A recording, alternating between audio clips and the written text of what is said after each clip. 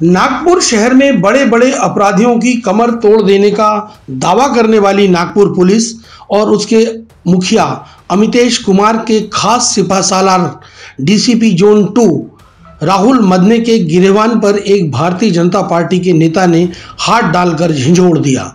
17 अक्टूबर के दिन अपराह्न एक बजे के आसपास उप मुख्यमंत्री और राज्य के गृह मंत्री श्री देवेंद्र फडणवीस के शासकीय आवास देवगिरी पर डीसीपी राहुल मदने की तैनाती थी। इसी दौरान फडणवीस अपने आवास के भीतर नियमित मुलाकातियों से भेंट कर रहे थे। इसी दौरान गेट के निकास के पास तैनात डीसीपी राहुल मदने ने एक भाजपा नेता को बांह पकड़कर रोकने की कोशिश की। गुस्साए भाजपा युवा नेता ने प्रतिक्रिया स्वरूप हाथ झटक दिया तो डीसीपी ने उनका कॉलर पकड़ लिया। इस युवा नेता ने आओ देखा न ताओ, डीसीपी राहुल मदने का कॉलर ज़ोर से पकड़ लिया। मौजूद अन्य पुलिस अधिकारियों ने काफ़ी जद्दोजहद के बाद इन्हें आपस में छुड़ाया। प्रत्यक्षदर्शियों के अनुसार अपनी बेज्जती से डीसीपी राहुल मदने बुरी तरह खिसिया गए, जबकि पुलिस के दूसरे अधिकारी और कर्मचारी उस युवा नेता की समझाइश में लगे रहे। इस दौरान भाजपा के अनेक कार्यकर्ताओं ने इस संवाददाता को वीडियो बनाने से भी रोकने की कोशिश की। हम आपको उस घटना का जो का त्यों वीडियो दिखा रहे हैं। पावर ऑफ़ वन के लिए नीरज ओम प्रकाश श्रीवास्तव की रपट।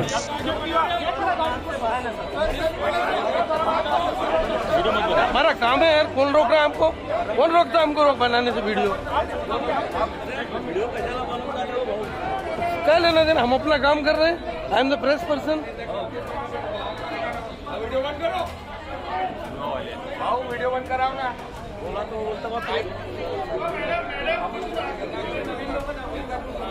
हात सोडा हात सोडा हात सोडा साहेब म्हणताय मी म्हणताय पुष्कर पुष्कर. काय नाही अरे ज़बरदस्त ज़बरदस्ती. धक्काबुक्की करून राहिले मी साईडला उभं होतो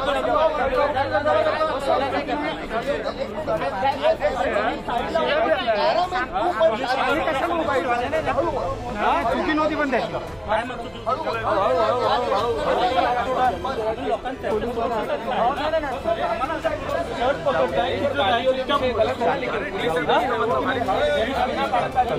पण अरे काही अर्थ आहे सिक्युरिटी आम्ही काही करणार छोड़ना सभी को है और वो अपने साथ के लिए काम कर रहे हैं